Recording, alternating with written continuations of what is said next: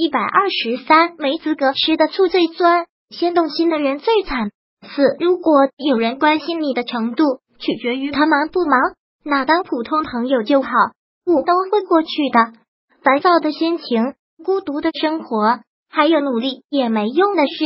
六，别蠢到用暴露自己软肋的方式去表达你对别人的信任。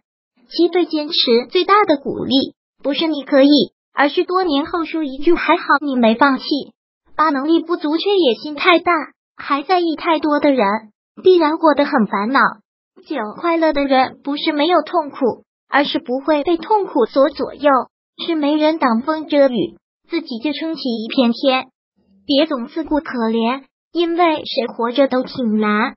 十一，一件事对你伤害的程度与事情本身没有太多关系，受伤的程度取决于对事情的态度。重视就重伤，轻视就轻伤，无视就无伤。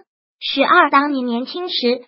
以为什么都有答案，可是老了的时候，你可能又觉得，其实人生并没有所谓的答案。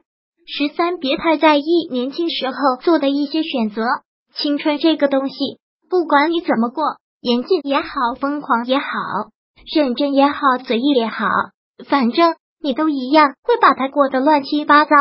十四，洗一个澡，看一朵花，吃一顿饭，假使你觉得快活。